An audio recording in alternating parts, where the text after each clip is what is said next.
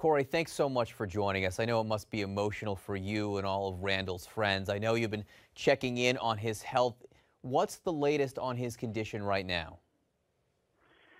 Um, was the last I'd heard, he's been in surgery most of the day.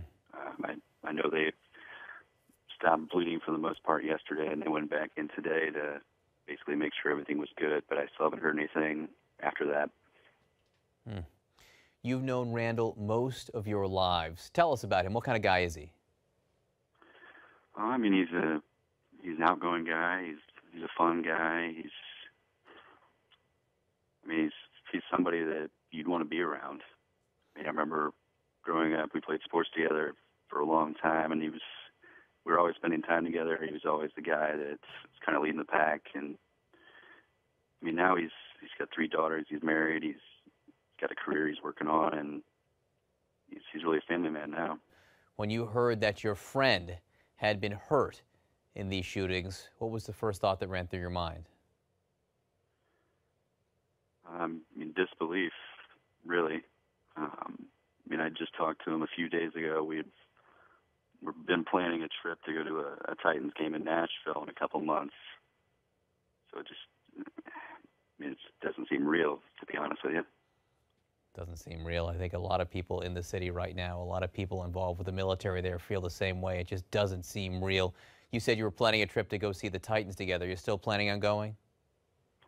Yeah, I mean, hopefully, I mean everything goes good and he'll be up and ready to go, and yeah, we can still do that for sure. A family member told CNN that that Randall was shot three times, that he saw the shooter and what he was trying to do was warn everyone to get out, to get to safety. He was trying to help. Does that sound like the Randall you know? Yeah, I mean, definitely, he wouldn't be somebody that would that would try to hide if he knew he could help somebody else. That'd be the first thing he'd want to do. Now, I know you haven't had a chance to talk to him yet personally. Is, is there a message you would like to send to him if you could right now?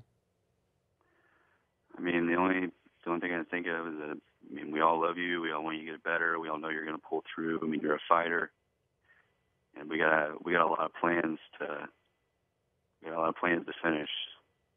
I know he was awake at one point. He gave a thumbs up to family members, even squeezed his wife's hand. That's got to be reason for some optimism, yes? Yeah, I mean, you would think so. I know he just had been through a lot of surgery and I mean, and from everything I hear, if you're conscious enough to be able to to know people are there, that's always a good sign. So we're we're hoping that's just the first of, of a lot of good signs. All right, Corey. Corey Scholl, thanks so much for being with us. Thanks. Have a good one.